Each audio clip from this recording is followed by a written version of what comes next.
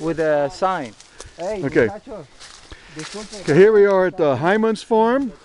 We're uh, doing inspection here with our inspector, and Jaime here is uh, showing us around his farm, and he's using uh, a natural fungicide for these plants here. And this uh, fungicide here, we see this. He has a sign even uh, showing this here.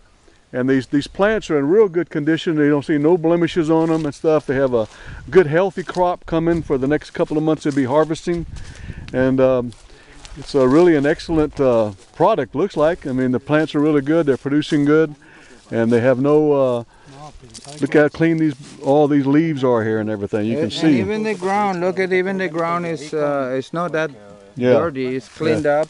yeah. So it's like it's going to be a good uh, good pro uh, product this year. It's going to be a good harvest. Amazing, yeah.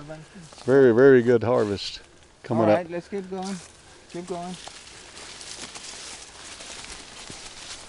Mire cómo se han partido los palos. Oh, got some heavy ones here. So heavy the branch is broken off. It's so heavy. That's called those kilos probably.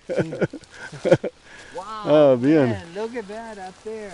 Uh-huh. Oh yeah, that's all his farm. No, no, no, no. But look at that up there. That's on the mountain. Beautiful. Yeah, yeah. that's- I asked him if it's his People farm. climbing up there. They're going Yeah, up. Very very good condition. Así manejamos